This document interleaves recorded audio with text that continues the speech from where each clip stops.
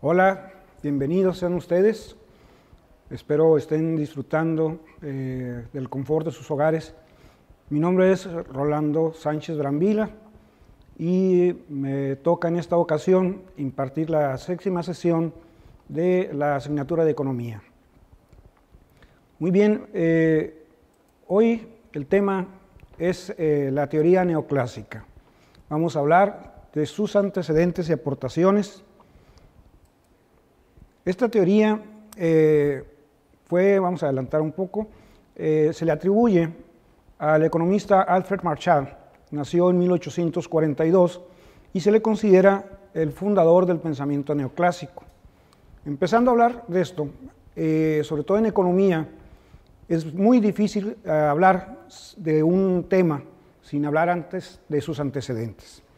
Hemos visto a través del curso cómo eh, la economía trascendió a través del tiempo siendo solamente un conocimiento de índole doméstico, según Aristóteles, eh, y que no tomó, no tomó, forma sino hasta después del siglo XV eh, con, las, con el pensamiento mercantilista. El verdadero antecedente entonces es eh, la teoría clásica propuesta por Adam Smith, eh, quien vivió de 1723 a 1790. Eh, esta teoría hablaba y tenía el primer, la primera postura científica. Adam Smith suponía que siendo la economía una actividad natural del hombre, debería de tener también leyes naturales que le dieran seguimiento y que le hicieran entrar en equilibrio. Por lo tanto, eh, se oponía eh, definitivamente al pensamiento mercantilista, cuyo principio fundamental establece que el poder del Estado eh, radica o se finca en la acumulación de tesoros y que por lo tanto era obligación del monarca o del Estado hacer todo lo posible porque estos tesoros se acumularan, eh, permitiendo o traduciéndose en una definitiva y decidida intervención del Estado en los mecanismos de la actividad económica. Sin embargo, Adam Smith dice que esto no es lo recomendable, que siendo la economía una actividad natural, debería dejársele seguir de forma natural. Y entonces eh, permitir que este movimiento, este proceso económico, se moviera ágilmente. Eh, posteriormente, eh, Marshall, eh, quien trató de aglutinar, de acumular o resumir el pensamiento económico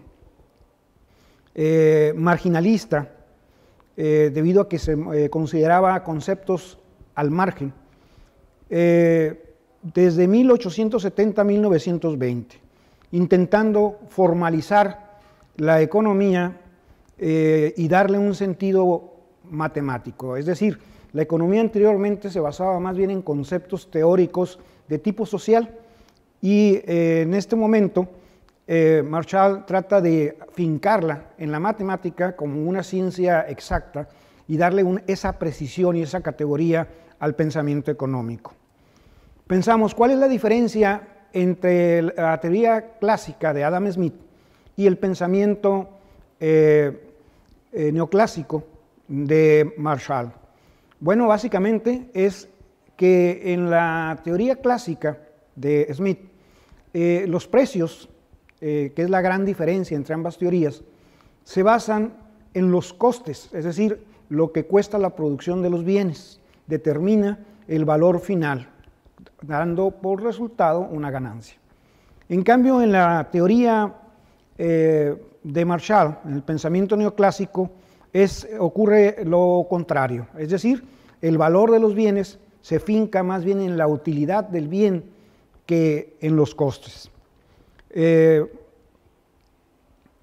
por lo tanto, el precio para él puede no tener límites, puede llegar hasta donde el consumidor esté eh, dispuesto a pagar por el beneficio del bien.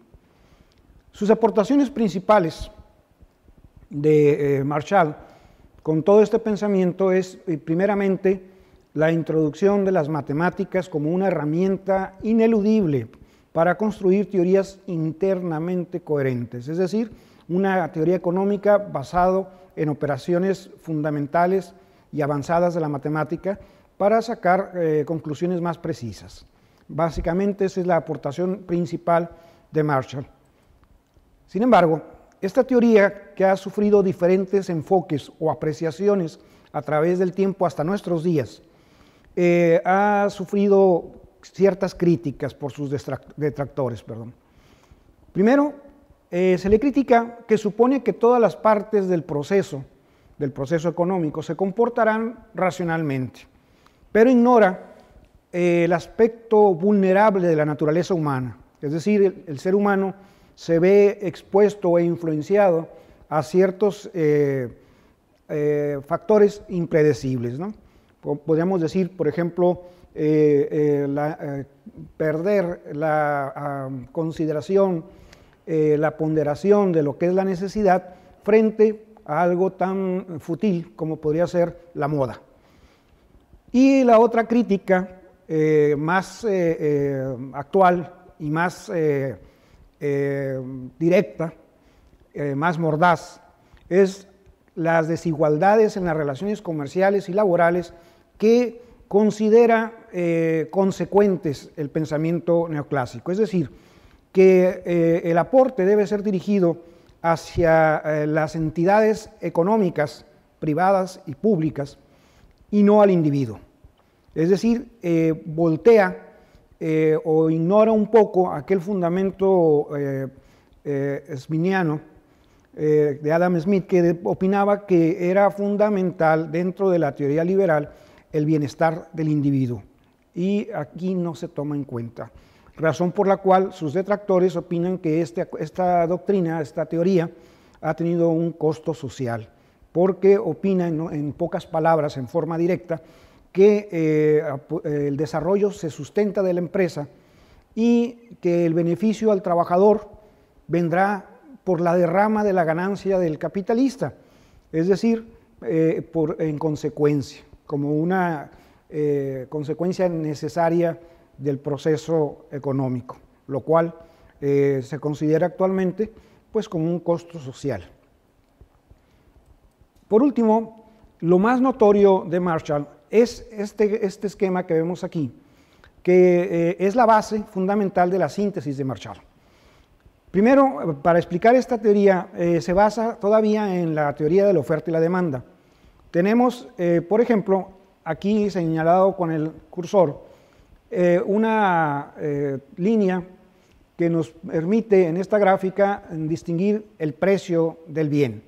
Es decir, mientras más alto, más, más, eh, más valioso, más costoso. ¿no? Y en la parte, eh, en el eje Y, tenemos eh, la cantidad. Entonces, esta, esta gráfica lo que expresa es que en el proceso económico, en la oferta, va a irse incrementando de acuerdo al valor del producto. Es decir, el productor, mientras más va ganando con su producto, tenderá a incrementar sus precios. En tanto que el consumidor, eh, o sea, el demandante, la demanda, eh, mientras, eh, más, mientras más desciende o menos asciende el precio, es, es, decir, disminuye, tiene una tendencia a disminuir, mayor propensión tendrá al comprar ese determinado producto. Un ejemplo muy simple. Imaginemos que una persona tiene 100 pesos y el producto cuesta un peso. Por lo tanto, habrá una propensión del consumidor aquí en la, barra roja a comprar eh, más mientras más le alcance. O sea, puede comprar 100 productos de a peso con 100 pesos. En cambio, siguiendo la otra barra, encontramos que el, vendedor, el productor, eh, tiende a incrementar el valor de su producto y si lo sube, digamos, a 2 pesos, entonces el consumidor tendrá a comprar menos cantidad. Y en esta gráfica encontramos un punto de encuentro, una intersección, y ese se marca como el punto de equilibrio en el valor de un precio. Básicamente esta es la, idea más conocida de Marshall. Recordemos entonces eh, sus aportaciones, pues la síntesis de Marshall y eh, la introducción de las matemáticas como una herramienta ineludible para construir teorías internamente coherentes, es decir, eh, la introducción de la matemática a la economía. Por hoy este tema es cuánto, vamos a, explicar, espero tener el privilegio de volver a atenderlos por este medio y pronto tener contacto personal con ustedes. Eh, cuídense, lávense las manos. Muchas gracias por su atención.